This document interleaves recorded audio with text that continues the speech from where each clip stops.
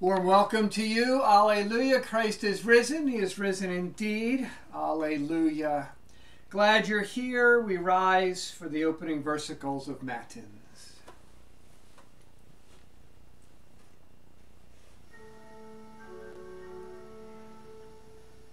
O Lord, open my lips, and my mouth will declare your Make haste, O God, to deliver me. Make haste to help me, O Lord. Glory be to the Father, and to the Son, and to the Holy Spirit, as it was in the beginning, is now, and will be forever. Amen. Praise to you, O Christ. Alleluia.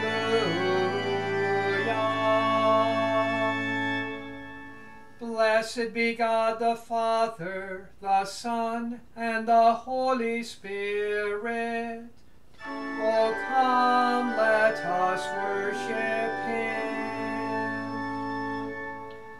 O come, let us sing to the Lord. Let us make a joyful noise to the rock of our salvation. Let us come into his presence with thanksgiving. Let us make a joyful noise to him with songs of praise. For the Lord is a great God and a great King above all gods. The deep places of the earth are in his hands. The strength of the hills is his also. The sea is his, for he made it, and his hand formed the dry land. Oh, come, let us worship and bow down. Let us kneel before the Lord our Maker. For he is our God, and we are the people of his pasture and the sheep of his hand. Glory be to the Father and the Son and to the Holy Spirit, as it was in the beginning, is now,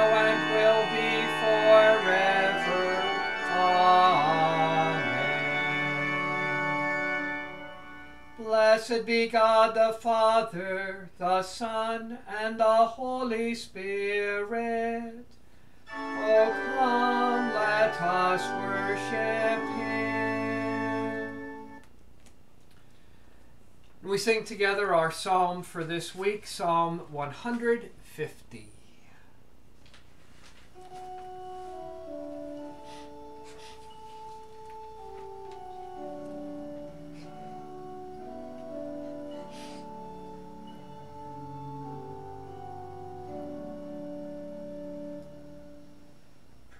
Praise the Lord, praise God in his sanctuary. Praise him in his mighty heavens. Praise him for his mighty deeds. Praise him according to his excellent greatness. Praise him with trumpet sound. Praise him with lute and harp. Praise him with tambourine and dance. Praise him with strings and pipe. Praise him with sounding cymbals. Praise him with loud clashing cymbals. Let everything that has breath Praise the Lord. Praise the Lord.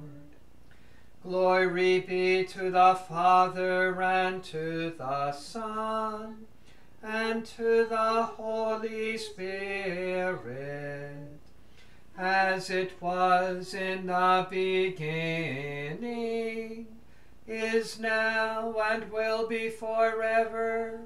Amen. And we sing together our hymn for this week, hymn 633.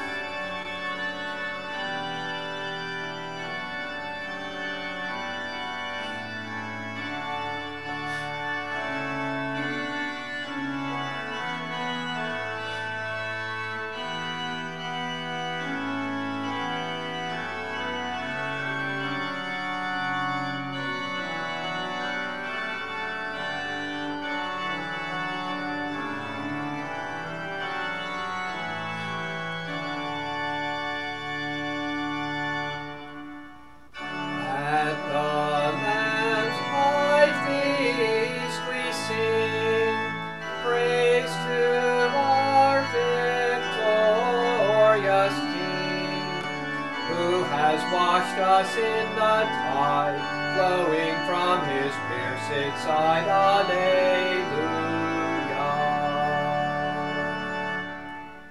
Praise we him whose love divine gives his sacred blood for wine, gives his body for the Christ the victim, Christ the priest, alleluia.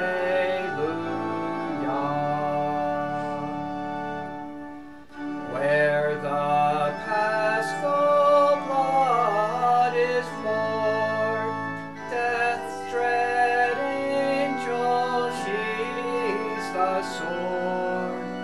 Israel's host triumphant go through the waves that drowns the foe. Alleluia.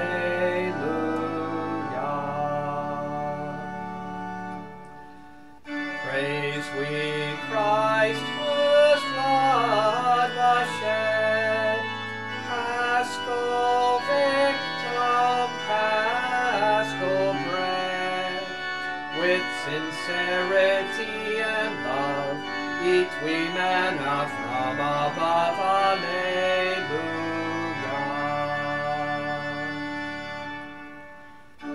mighty victim from the sky, hell's fierce powers beneath you lie. You have conquered in the fight, you have brought us life and light. Alleluia.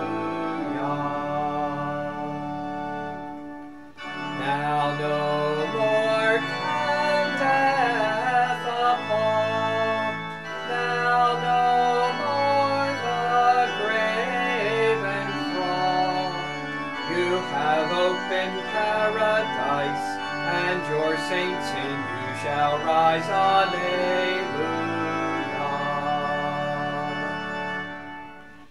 Easter triumph, Easter joy, this alone can sin destroy.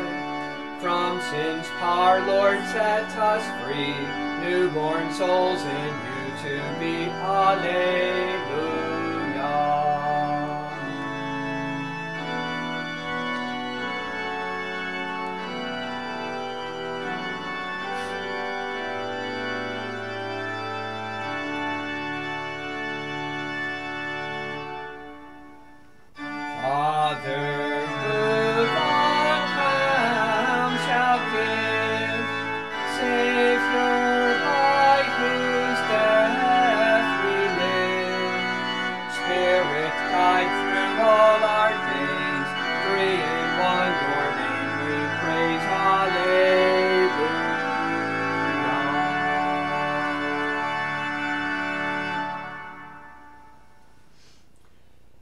Reading from the Gospel according to St. Matthew, the 18th chapter.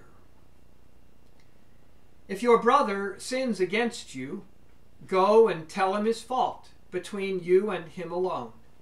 If he listens to you, you have gained your brother. But if he does not listen, take one or two others along with you, that every charge may be established by the evidence of two or three witnesses. If he refuses to listen to them, tell it to the church. And if he refuses to listen even to the church, let him be to you as a Gentile and a tax collector. Truly I say to you, whatever you bind on earth shall be bound in heaven, and whatever you loose on earth shall be loosed in heaven. Again, I say to you, if two of you agree on earth about anything they ask, it will be done for them by my Father in heaven. For where two or three are gathered in my name, there am I among them. O Lord, have mercy on us. Thanks be to God. And we confess together the Apostles' Creed. I believe in God the Father Almighty, maker of heaven and earth, and in Jesus Christ, his only Son, our Lord, who was conceived by the Holy Spirit, born of the Virgin Mary, suffered under Pontius Pilate, was crucified, died, and was buried. He descended into hell. The third day he rose again from the dead. He ascended into heaven and sits at the right hand of God the Father Almighty. From thence he will come to judge the living and the dead. I believe in the Holy Spirit, the holy Christian Church, the communion of saints, the forgiveness of sins, the resurrection of the body, and the life everlasting. Amen. And our learn by heart this week, our scripture, John chapter 15, verse 5. I am the vine you are the branches. Whoever abides in me, and I in him, he it is that bears much fruit. For apart from me, you can do nothing. And the office of the keys, the first question what is the office of the keys? The office of the keys is that special authority that Christ has given to his church on earth to forgive the sins of repentant sinners but to withhold forgiveness from the unrepentant as long as they do not repent. How can a pastor speak for Jesus and say, I forgive you all your sins? Well, the office of the keys tells us how. As we're learning this week, Jesus gave this authority to his church on earth to forgive sins. Jesus wants the forgiveness of sins to fill the world. And can you imagine if it did? How great this world would be instead of fights, instead of holding grudges, instead of blaming each other. We all forgave each other. That would be amazing. We heard of this in the scripture we heard today. Jesus wants us to forgive each other. If someone sins against you, Jesus says, try to forgive. Go talk to him and work for repentance and forgiveness, just the two of you. If that doesn't work, don't give up. Try again with one or two other people. And if even that doesn't work, still don't give up. Get the whole church involved if you have to. Keep trying to bring her to repentance so there can be forgiveness. Even the final step Jesus mentions to treat them as a Gentile uh, or a tax collector is that in taking such a drastic step, they might repent. Everything is so that there would be repentance and forgiveness, confession and absolution. And this goes for you too. If you sinned against someone and they come to you with it, repent and hear those wonderful words from them I forgive you. And while Jesus wants us all to forgive one another, pastors have a special responsibility as Christ's representatives, his ambassador in that place. He is the one specially designated to speak on his behalf. Another way to say that is that pastors use the keys that Christ has given to his church on earth on behalf of Jesus and the whole church. And it is called the office of the keys because a key does two things it can lock a door or open a door. And forgiveness is the key that either opens or closes heaven. If our sins are forgiven, heaven is open to us. If our sins are not forgiven, heaven is closed to us. That's why Jesus wants forgiveness to fill the world. He wants everyone to be saved. He died for all sins. So he wants that forgiveness given to all.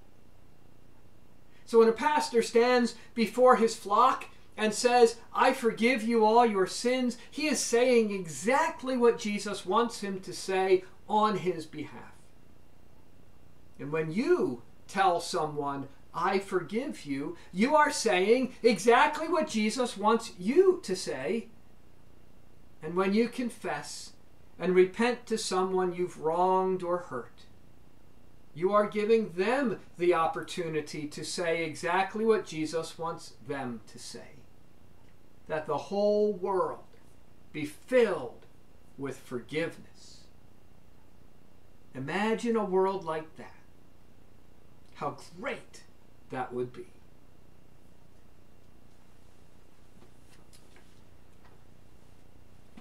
We continue with the prayers, beginning with the Kyrie.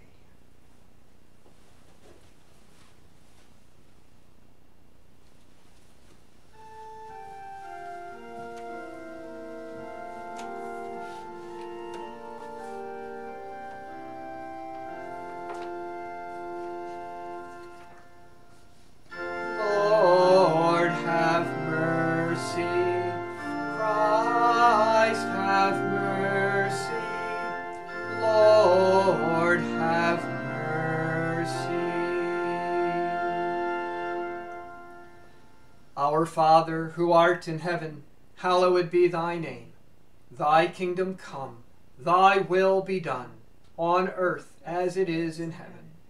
Give us this day our daily bread, and forgive us our trespasses, as we forgive those who trespass against us. And lead us not into temptation, but deliver us from evil.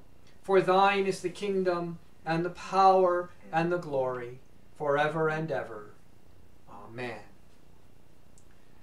O Lord, hear my prayer, and let my cry come to you. O God, you make the minds of your faithful to be of one will. Grant that we may love what you have commanded and desire what you promise that among the many changes of this world, our hearts may be fixed where true joys are found. Through Jesus Christ, your Son, our Lord. Amen. And this week we pray for Eva and Trinity and their parents. Heavenly Father, thank you for Eva, Trinity, and their parents. Bless their family with forgiveness and love. Watch over and protect them in all their ways. Help them to learn and help their parents to teach them. Especially help them all to grow in your word and in faith and in knowledge of you and your love. And give them joy and peace. Through Jesus Christ our Lord we pray. Amen. And we pray in thanksgiving to God for the gift of our family and for those families that are broken and hurting for God's health and strength. Heavenly Father, thank you for my family. Help me love and forgive them always. And help those families which are broken or hurting. Give them healing and provide all you know they need. Through your Son, Jesus Christ, we pray. Amen. O Lord, our Heavenly Father, Almighty and everlasting God, you have safely brought us to the beginning of this day. Defend us in the same with your mighty power, and grant that this day we fall into no sin, neither run into any kind of danger, but that all our doings, being ordered by your governance, may be righteous in your sight. Through Jesus Christ, your Son, our Lord, who lives and reigns with you and the Holy Spirit, one God, now and forever. Amen. I thank you, my heavenly Father, through Jesus Christ, your dear Son, that you have kept me this night from all harm and danger, and I pray that you would keep me this day also from sin and every evil, that all my doings and life may please you. For into your hands I commend myself, my body and soul, and all things. Let your holy angel be with me, that the evil foe may have no power over me. Amen. Let us bless the Lord. Thanks be to God. The grace of our Lord Jesus Christ and the love of God and the communion of the Holy Spirit be with you all. Amen. Well, thank you for coming, everybody. The Lord be with you. Have a great day. Remember, Christ is risen. He is risen indeed. Alleluia. And I'll see you on Thursday.